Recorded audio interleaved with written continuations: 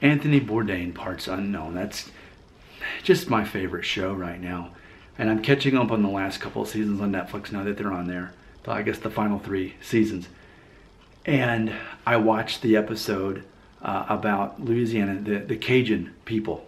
And it's a great episode because, as far as Parts Unknown, I always knew Cajun people existed and I was vaguely aware of Mardi Gras, but as far as Cajun people. And so the concept is people who were of French descent that got kicked out of, I guess, parts of Canada where the Protestants kicked them out or something. They ended up in Louisiana.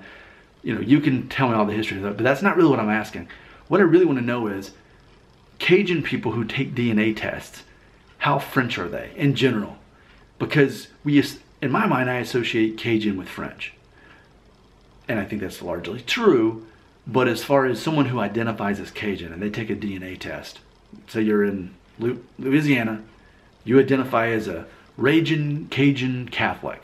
Okay, if that's you, you take a DNA test. How French do you show? Now, I do want to understand that, for example, with my heritage, parts of French DNA can show up as Iberian. I understand that. But I am curious, and, and maybe that would be the case. What if you, you said, you know what, I'm 100% raging Cajun Catholic. You take a DNA test and it shows that you're 85% French and then you're 15% Iberian. That would be my guess, maybe. If not 100% French, if, if that's what you know. I need to know the answer.